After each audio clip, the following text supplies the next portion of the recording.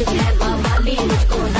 समझियो जाली यह बात तो आप लोगों को पहले से पता है कि हनी पाजी के 70 परसेंट गानों के लिरिक्स टीवी पर चेंज हो जाते हैं। जैसे मूवीज़ के लिए सेंसर बोर्ड होता है, कट ऑफ़ सीन के लिए सेम वे वैसे टीवी पर सॉन्ग आने से पहले इसका भी रिव्यू होता है।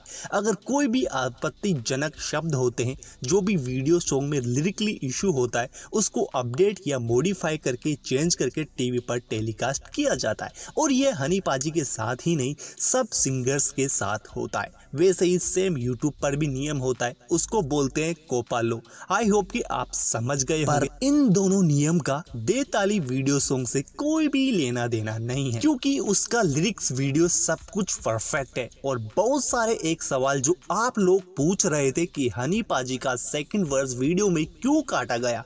उसका आंसर सिंपल है मेरे भाई।